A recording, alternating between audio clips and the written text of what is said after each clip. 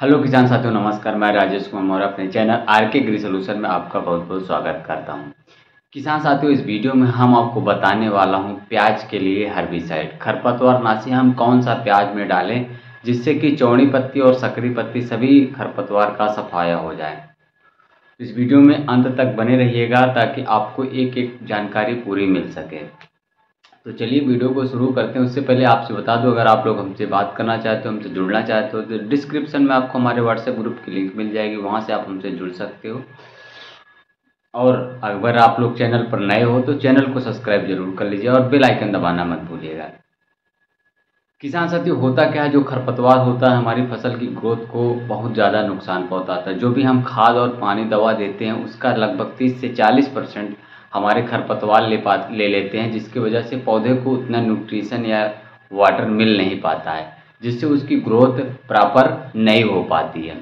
तो उसके लिए हमको खरपतवार निराई गुणाई के माध्यम से प्याज का पौधा का होता बहुत नज़दीक नज़दीक होता है, जिससे कि उसमें निराई गुणाई करने में बहुत सारी परेशानियाँ झेलनी पड़ती हैं। खास करके नर्सरी में तो ज़्यादा होती है और लगाने के बाद भी बहुत सारे खरपतवार उगते हैं, जिसको कि कंट्रोल करना बहुत मुश्किल हो जाता है। तो उसी के लिए ये वीडियो आया है किसान साथियों हम आपको बताने वाले इसमें दो हर्बिसाइड जिसका आप अपने प्याज की फ़सल में नर्सरी में भी आप उस दवा का प्रयोग कर सकते हो और लगाने के बाद भी उस दवा का प्रयोग कर सकते हो। लेकिन इसका प्रयोग तभी हो पाए कंट्रोल ये दोनों दवाएँ अच्छे से प्रॉपर काम तभी करेंगी। जब आपका खरपतवार दो से चार पत्तियों का रहे, तभी आप स्प्रे करते हो तब। बहुत बड़ा खरपतवार हो जाने पर हर्बिसाइड कोई भी उतना असर नहीं करती है। ठीक है किसान साथियों? तो चलिए हम आपको बताते हैं कौन सी हर्बिसाइड हम अपनी प्याज की फ़सल पर प्रयोग कर सकते हैं। तो किसान साथियों, जो पहली हर्बिसाइड है, आप स्क्रीन पर देख सकते हो धानुका की वन किल है। इसका जो डोज है किसान साथियों, आप इसको 40 एम पर टंकी, आप जब फ़सल लगाने के बाद आप कर सकते हो बट अगर आपको नर्सरी में इसका उपयोग करना है तो आप जो 15 से 16 लीटर की आपकी टंकी होती है, उसमें आप 20 एम पर टंकी के हिसाब से आप इसका प्रयोग कर सकते हो।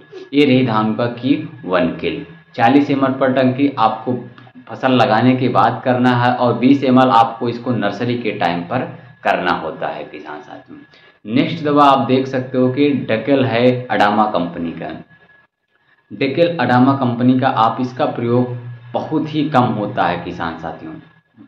इसका जो प्रयोग अगर आपको इसको नर्सरी में करना है तो आपको सात एम पर टंकी स्प्रे करना है, यानी कि आधा एमएल पर लीटर के हिसाब से। अगर आपको इसको फड़ी क्या बोलते खड़ी फ़सल में आपको स्प्रे करना मतलब लगाने के, ट्रांसप्लांट करने के बाद तो आप इसको पंद्रह एम चौदह से पंद्रह एम पर टंकी आप इसके स्प्रे कर सकते हो। यानी कि वन एम पर लीटर के हिसाब से जितनी भी लीटर की आपकी टंकी है, उस हिसाब से आप इसका प्रयोग कर सकते हैं।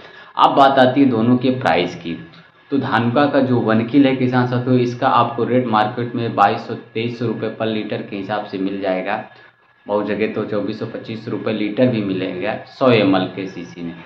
बट जो वन किल वो जो अडामा का डकेल है, उसका रेट आपको लगभग तीन हज़ार रुपये लीटर तक मिलेगा। अट्ठाईस सौ से तीन हज़ार रुपये लीटर आपको मार्केट में देखने को मिलेगा। ये रही दोनों हर्बिसाइड किसान साथियों, आप अपनी फ़सल पर अगर आप इन दोनों दवाओं का प्रयोग करते हो तो आप चौड़ी पत्ती और सकरी पत्ती, दोनों प्रकार की घासों का आप अपनी फ़सल से सफाया कर सकते हो। ठीक है किसान साथियों? बस आज के लेते हैं किसान साथियों। अगर वीडियो पसंद आए तो वीडियो को लाइक और शेयर ज़रूर करिएगा। धन्यवाद।